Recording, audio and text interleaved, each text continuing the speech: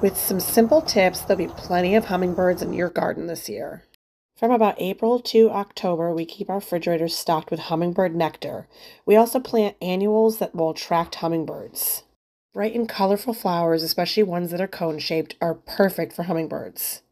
Zinnias and petunias and everything from oregano to lavender and catmint are easily planted around our vegetable garden, and those help attract hummingbirds as well. Hummingbird feeders are placed in a partly shady area. If it's in direct sunlight, it can make your nectar spoil quickly. They prefer to have plenty of space to maneuver around the feeders, so we have custom feeder holders.